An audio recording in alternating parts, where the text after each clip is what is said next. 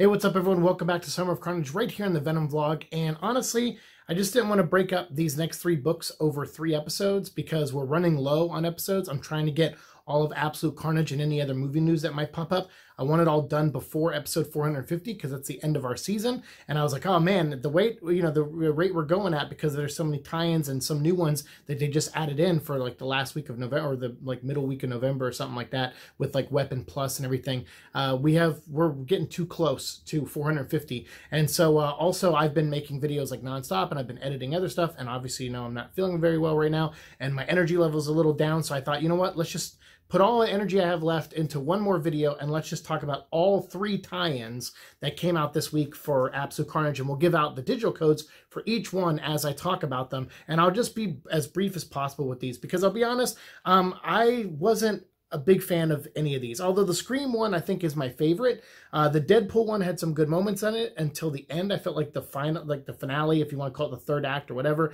felt like it kind of fell apart and it kind of went more for hey, let's tell jokes and not really wrap up this story or give you any insight on the conclusion of this. And then also let's skip ahead and just kind of you know take out some of the oomph of the ending of the story. So I wasn't really feeling the Deadpool ending, um, but I did like the book up until then.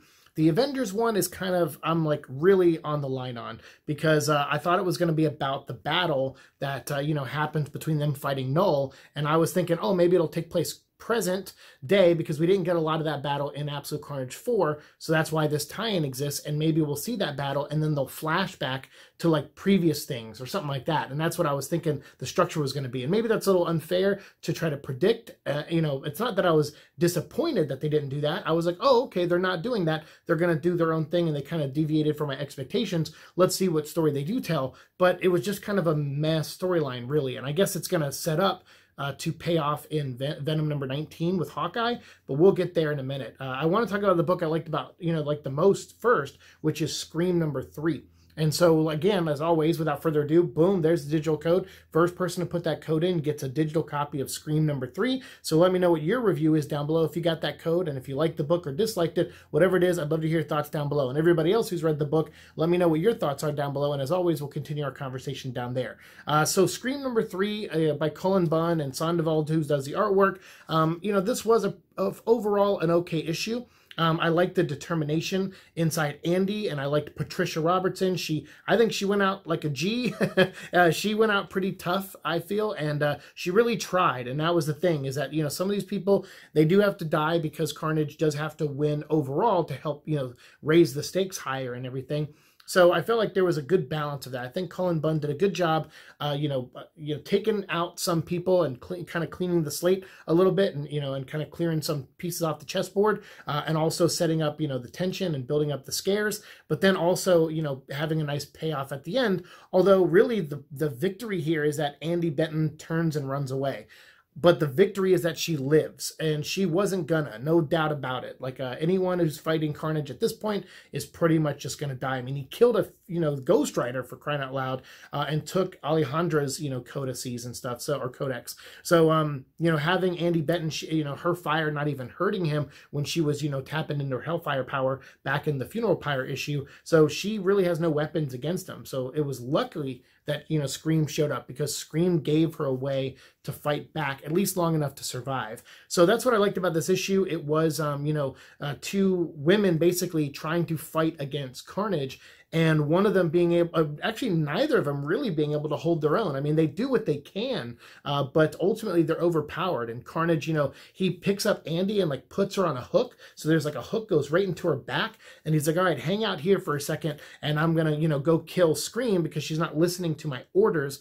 And that's what I also liked. Unlike the, you know, the Miles Morales story where he takes control back and he's like, all right, I'm Miles Morales and now I have a symbiote and I'm going to go fight Carnage. And then he doesn't do that. In this one, at least Scream says, I'm going to fight back and she does. Uh, so that's good. You know, I'm glad that's in here. And Scream does, you know, with Patricia Robertson, and she has Donna Diego's voice still floating in her head and the Scream costume. So it's these three voices, you know, uh, trying to fight for control, and they fight back and they all unite against Carnage. But Carnage ultimately wins. But like I said, there's such a tough moment. We're going to get into some spoilers here, uh, but because I can't not talk about this, it reminds me of there was this uh, issue of Batman Superman where Nightwing was, um, you know, invaded the Oval Office with all the sidekicks, like all the other Robins and, you know, other uh, sidekick characters and Steel and stuff like that. Um, and they break into the Oval Office to take down, you know, President Lex Luthor, and he releases a gas in the room that knocks everyone out except Nightwing. And then, you know, uh, Lex Luthor is hopped up on Bane juice too, so he's punching Nightwing, and Nightwing's too slow by the gas to fight back. But he's just getting pummeled, and his face is getting bruised, his eye gets busted, and uh, Lex Luthor goes fall, like fall over, fall down, and uh, Nightwing says, No, never. I'll never fall to you. And I love that. It's like he didn't win the fight, but he totally spit in the face of his enemy that's kind of what goes on here. And I really liked it. I think Cullen Bunn did a good job with, uh, you know, Donna Diego slash Patricia Robertson and slash Scream, you know, spitting in the face of Carnage and not giving him what he wants. Even though Carnage does kill her and he has the, the dead body of Patricia Robertson. And I think at the end there's a line where he says he's going to take the codex from her um, as Andy got away. But uh, before he kills her, like, you know, he full on, you know, stabs her and cuts her up really bad. And then she's falling and she hits the ground. And then she's like, don't die, don't die. And she's like, you know, remember who you are. You're Donna Diego, you know, you're, you're Patricia Robertson, you're Scream. Fight back. If you're going to die, like you're dead, no matter what, you're going to die from all these wounds but take Carnage with you. And she gets up in one last move and she like wrap, and this is like Dark Carnage. This is like the real Carnage, not Norman Osborn being sent in. Um, it's Dark Carnage. I think it is Dark Carnage. um, and because uh, I think he says something like, uh, you know, I I'm the one and only, and uh, and only I could come in and do this. You know, or I only don't send a, a woman to do a man's job, or something sexist like that. But in keeping with who the character is, obviously he's kind of a scumbag and a serial killer. So uh, he comes in and uh, you know, so it's it's them two going at it, and she wraps around him, and she oh she's like trying to take him down, uh, but she ultimately doesn't have any strength, and she falls to the ground and she dies. Patricia Robertson officially dies in continuity, and uh, I was blown away by that moment. I was like, hey, thanks for letting her go out like that because I know she's not a lot of people's favorite characters um, you know, one of no one's favorite character really. Um, but I do like Patricia. I liked what they did with her in the run before, and I always wondered what happened to her. So it was nice to see her come back one last time and go down swinging, and she really does. So I felt like that was Cullen Bunn trying to pay a little bit of respect to a character that maybe he maybe doesn't even like either. Uh, but I feel like he still gave her a really good moment in this one. And because Andy sees her sacrifice, Andy's like, I'm not going to win this. And the suit leaves Patricia's body and then bonds with Andy. So it looks like Andy's going to be the new Scream going forward, possibly in the new ongoing series that's coming out soon or miniseries, whatever it is going to be. So uh, that's exciting because I like the character and I want to see more of Andy and more of what they do with her. And uh, hopefully they'll explore that more. But in this one, at the end, she says, you know, I can't fight Carnage alone. Maybe I'll go find someone out there who can help me fight him. Uh, so I guess it'll we'll have to wait and see if she shows up in issue five of Absolute Carnage. If she does, that'll be great because that means she can fight back and you know maybe get uh, a couple licks in or at least see Carnage get defeated because uh, that'll probably be big for her character arc at this point is to get a little bit of closure there and see Carnage get defeated. Um, so hopefully this is not going to be like Miles Morales where they you know Donny Cates doesn't you know pay off what this sets up. Uh, so I hope we get to see Andy again one more time before the Absolute Carnage event ends. Uh, but that's my, you know, my review of this. I feel like this was like maybe a, a three and a half out of five. Uh, or, you know, I, maybe I'll go up to a four. Uh, I feel like this was a, a four. The artwork was good, um, and I thought the writing was pretty consistent throughout. And I think this was better than the second or the first issue was my least favorite. Second issue got a little better, and this one I thought was a pretty good ending. And it makes me excited to see what they're going to do with Andy in the upcoming series for sure. Uh, now, next up, let's talk about Avengers. This is a one shot that came out. This Clayton Crain, I think, cover here. Um, I think that's Clayton's artwork. It looks a little bit like Clayton, uh, but the you know the issue itself was just kind of meh. Like I thought it was again, like I said, I was like, oh, okay, this is gonna tie in. We only got two pages of you know the fight between these Avengers, these new Avenger members, and Carnage. So I guess we're going to get a whole issue where they kind of flesh that fight out and then cut back to like some prior events or something or whatever. And uh, they don't do that at all. Um, this kind of subverted my expectations a little bit. It starts off and it shows the homeless in New York getting infected. Um, you know, the, the the symbiotes coming up out of the sewers and grabbing homeless people and turning them into symbiotes uh, basically for carnage. And then it shows Captain America and everybody fighting them on the street. And then Spider-Man shows up and I'm just kind of wondering, I'm like, when does all this happen? I'm going to assume this happens maybe somewhere in between issues two and two uh, or something, because I think at the end of two, Eddie Brock shows up and he sees all the Avengers at Rex's place. Uh, but that's also the same issue that they split up. Him and Peter split up. So I guess this is when that happens. So Peter Parker splits up and says, I'm going to go find some heroes and you go recruit some villains. And as we know in the Absolute Carnage book, he goes and recruits, you know, these new Avengers members because they've all had Carnage symbiotes on them before. So I was like, okay, so you know, maybe that's the story they're going to tell here, and it looks like they do. That's that's what they do. They go back and tell, you know, how Spider-Man gathered all these heroes. And he's like going out in broad daylight and there's symbiotes walking around like zombies and they're slow. And, but then there's like other symbiotes that are running really fast at them. And it's like, again, that inconsistency of like how much, like, it's daytime. Like he's like right here, he's recruiting Ben Grimm in the daytime with Carnages running around. But yet when he split up with Eddie and then met him back at Rex's, that was all in one night. So it's kind of I, I don't know. Like this this book is in this series has been all over the place. And those little details, like I said, they don't ultimately affect the story. But when that much work isn't put into it, you just, I don't know, I get upset because it's like, I mean, I spent $20 this week just on Venom Absolute Carnage stuff. like that's all I bought this week. I think I got one Ghost Rider issue too, but that I had some cash on me and I was like, all right, this can't come out of my credit card, you know, budget for the week. It, I'm just going to pay cash for this Ghost Rider um, like Marvel Tales issue. But the but the main 20 bucks I spent was on these four books. And uh, and I, I just got frustrated reading some of these. Like Scream, I said, like I said, it was pretty good. But this one, I'm just like, oh, really? This is just a, this is just a story where it's Spider-Man recruiting these you know Avenger members. The only exciting stuff in here was the Hawkeye stuff where they were cutting to Los Angeles and then Hawkeye you know being attacked in Los Angeles and then he realizes he gets a message from Cap saying, "Hey, there's these two beacons," which I'm like, "All right, cool. They're going to touch on the beacon stuff." Um, there's one in San Francisco, un, you know, underground. So or they don't say where it is. He's got to go find it. So Hawkeye's like, "Okay, I got to go to San Francisco and take down a beacon." Got it. And then meanwhile, Spider-Man and the New York heroes are going to take down the beacon that they come across. So in, in, New York, so they go underground in the subway and they find a beacon, but it's like the, that big tower that you know Carnage built, and there's a single person inside of it that somehow is powering the beacon. I get I don't know if they're the origin point of the beacon or how they're the power. They don't really explain it in this book. They don't really give you any answers. Uh, but one person apparently is really uh, you know the, the the the battery, I guess, for the the beacon. And so Wolverine naturally wants to kill that person. He's like, well, we got to kill them. And Spider-Man's like, no, we're going to take him alive. We're going to bring him to hospital. We're going to try to try to save his life. And when they take him out of the machine, it, I guess it does power down the beacon. Again, a lot of things are a little unclear. And they bring him to, you know, a hospital and drop him off and are like, hey, other people might show up with these symptoms. Just run a scan on them. And the Sonics will like, you know, I guess, disrupt whatever ailments has hurt them. And the lady's like, yeah, sure, thanks, Captain America, or whatever. And Spider-Man's like, hey, what about my thank you? You know, we're just being, you know, adding it, trying to add in some levity. But uh, really, the Hawkeye stuff I thought was the best part of this book was, you know, every time they cut to Hawkeye, and they show him going underground to the, the underground city of San Francisco where Lethal Protector took place.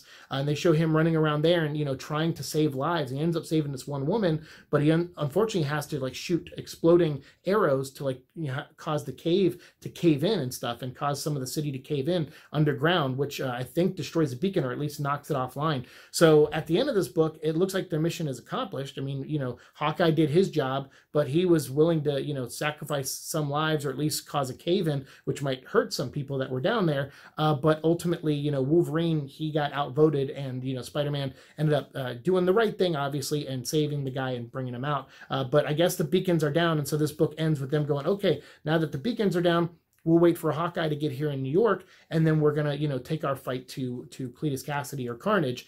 And meanwhile, Hawkeye's like, yeah, I'm coming, Cap. Don't worry, I'll be in New York like in a matter of hours. So I guess that you know makes sense because you know Cap and all those guys go under, and uh, you know when they get the codices taken out of them, and they are asleep for a couple hours. So that makes that's enough time for him to get in a Quinjet or something and get to New York in time. Uh, but that means when he arrives in, in New York, he's going to still have a codex in his spine. So I'm curious what is going to happen there with Hawkeye. And it says it's to be continued in Venom number 19. So, uh, you know, obviously I'm going to pick that up. That comes out like in a week or two.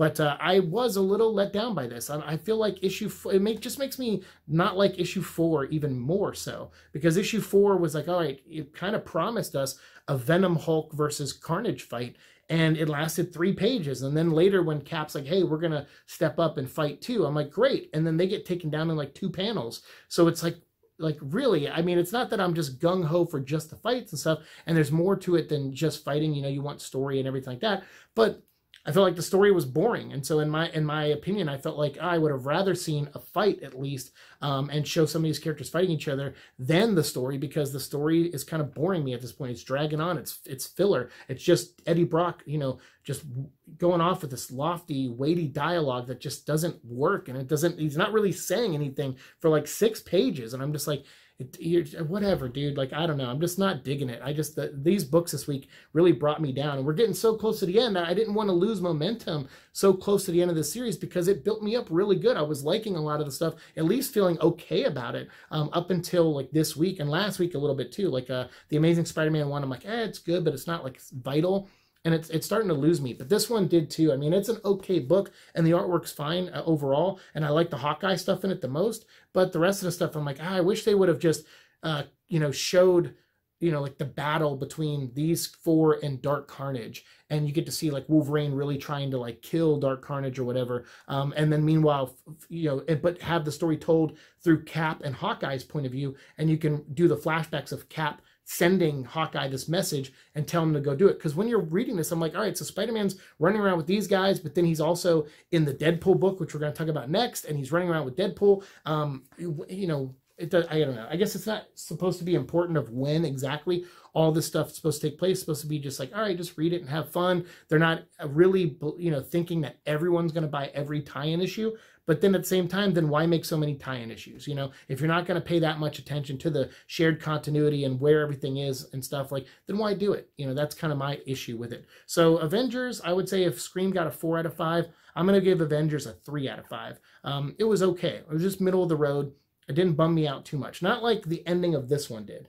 Uh, let's talk about this real quick because I like Frank Tieri and uh, he's nice enough to follow me on social media on Twitter and uh, I love his stuff and I feel like me and him are on the same wavelength a lot of times because uh, I'll be able to be able to predict sometimes what he's going to do, but that's just because he's really good at laying down foundations and setting things up and then paying him off later. And I'm so used to reading his stuff that I can kind of see where he's going sometimes and I like it.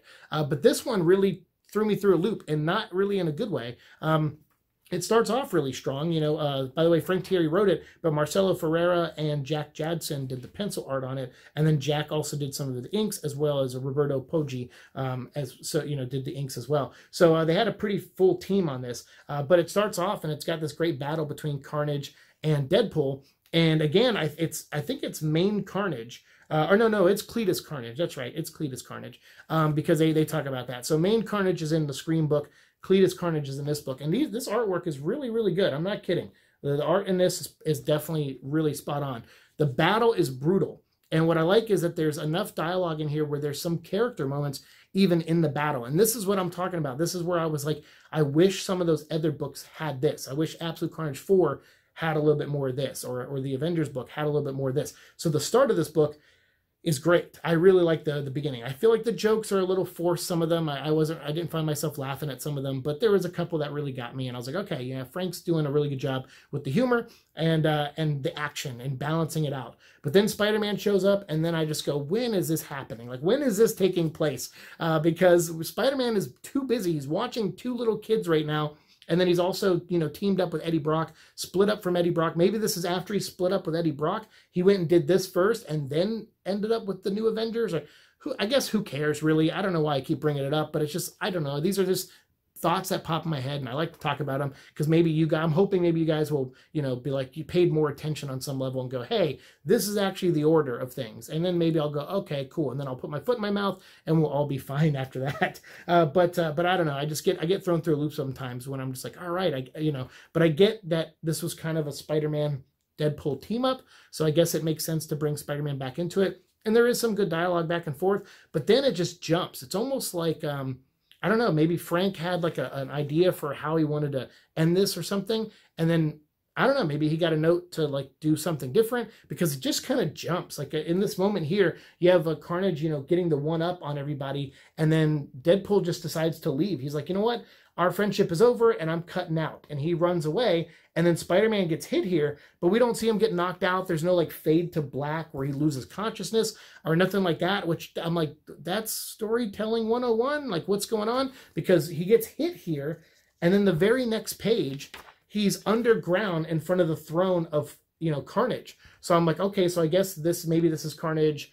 You know, I guess I'm always thinking about the timeline. Maybe after he ate Scream or something like that, and he's back and he's um you know, ready to get involved with, you know, the stuff that's going on above ground. Um, he hasn't changed into Eddie yet and gone and, you know, so this is obviously before issue three of Absolute Carnage. Um, but still, it's like when I'm reading this, I'm like, what happened? Like, did so Spider Man got knocked out? And they don't even really say it too much in the dialogue. It's just, you know, Spider Man's there and he's, you know, on his knees. And then, you know, he's being presented by Cletus. And Cletus slash Norman says, like, hey, uh, this is, you know, Spider Man. I'm sorry I couldn't bring you Deadpool, but at least I brought you Spider Man. And so Dark Carnage is like, fine, okay, I'll, I guess I'll take Spider Man. I'll take what I can get. But then, you know, uh, Deadpool shows up with a great line. I like his intro line about Bea Arthur. I thought it was pretty funny. Um, but he comes in and he's like, look, I'll trade myself for Spider Man. And, uh, you know, and Carnage is like, good, because you're the unicorn. You're the one who's been bonded with everything. And he's like, well, I don't really see myself as a unicorn. He goes, uh, but whatever. He's like, fine, yeah, I have four codices in me from the, you know, the hybrid suit. So if you want me, fine, but you got to let Spider Man go. And then so Carnage is like, uh, sure, we'll make that deal. And he brings Deadpool over, digs into his spine, and as he's trying to rip out the codices, uh, he sees a bomb in there that says uh, "Boom goes the dynamite," uh, which is uh, another great reference. And then, blam! Everything blows up. And I thought, okay, there's the hideout's gone. Maybe that uh, you know that tower that he was you know around, that beacon, maybe that's gone now too. But of course, that's taken care of in another book. But this is the way they could have taken it out if they really wanted to. Um, so I was like, okay, that's you know neat, and that was a great move. He he blew himself up uh, with the codices. So I thought, okay, the codices are gone. There's no way, you know, Carnage could have sucked him out. If he blew up his, if he put a bomb on his spine and blew himself up, how did the codices survive? And if it did survive, why not show it? Because in Absolute Carnage number four, I think uh, you know Miles Morales says, "Hey, I saw through Carnage's eyes, and we all had the hive mind, and I know he has the codice or the codex from uh, Deadpool." And it's like, okay, but how does he know that? I mean, you know, because that doesn't happen in this issue we just see an explosion and then everyone's gone. Carnage got away. All the Carnages ran away for some odd reason. I don't know why they would just run away after one little explosion. Um, it was a pretty big one, I guess. It knocked a couple of the other symbiotes over, but it doesn't kill any of them. So if it's not strong enough to kill the little halflings or whatever, then it's not going to kill or even probably hurt uh, Dark Carnage that much. So I'm just, I don't know. I felt like a little confused at the end here. And then when he goes and saves, you know, Wade, they're getting chased out by all these other symbiotes and then like you know dark carnage is rebuilding himself or, or whatever i guess because that's what it looks like he is there but it doesn't say that that's dark carnage. Uh, but then you know wade wakes up he's like where are my legs? Where are my legs? He's like come on let's get out of here.